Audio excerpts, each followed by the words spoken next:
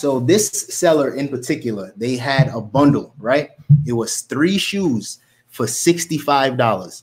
And I don't know, I don't exactly know why they were doing that. They said it was just a deal on Friday, and I purchased these on Sunday. So clearly, other people seeing these shoes for the two days that they were listed and they weren't interested. But for me, I'm very like knowledgeable on these type of sneakers. So for me, I had to grab up the deal.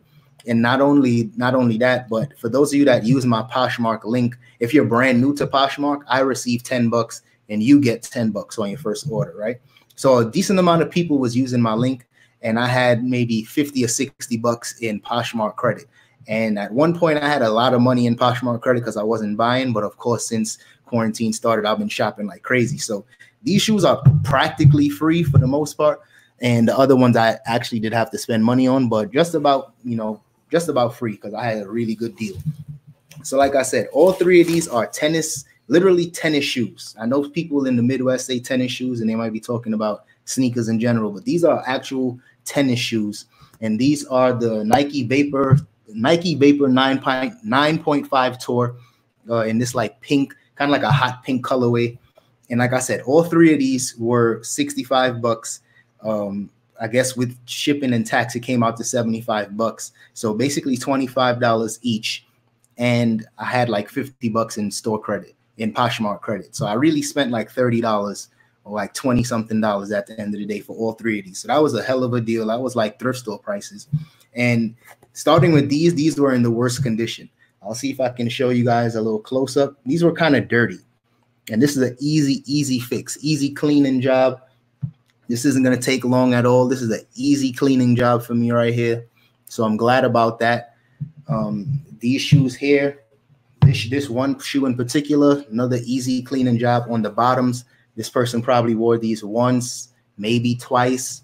I highly doubt they play tennis in these because they're just way too fresh to be ten to be played in.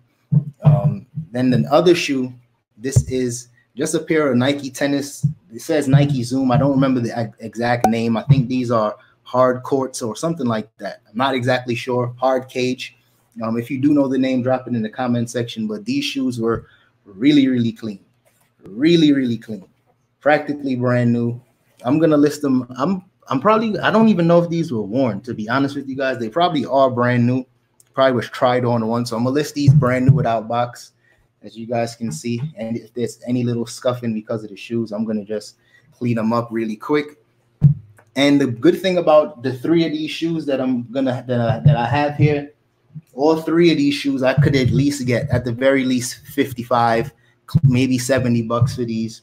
I know these once I get these cleaned up, I'll get at least 60 bucks for these because I've sold the same shoe in the past, same conditions, and I made a decent amount of profit.